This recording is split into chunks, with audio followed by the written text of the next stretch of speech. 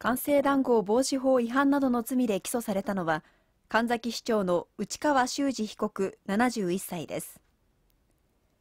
起訴状によりますと、内川被告は去年1月、ふるさと納税の PR 業務を行う業者の選定をめぐり、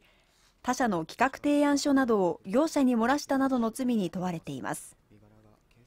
今年度の業務を受託した会社の役員で、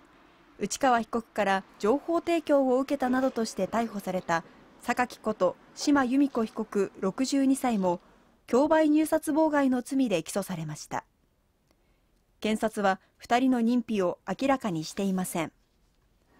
一方同じく逮捕されていた島被告の会社の社員など2人について佐賀地方検察庁は今日付で不起訴処分にしました。不起訴の理由について諸般の事情を考慮したとしています。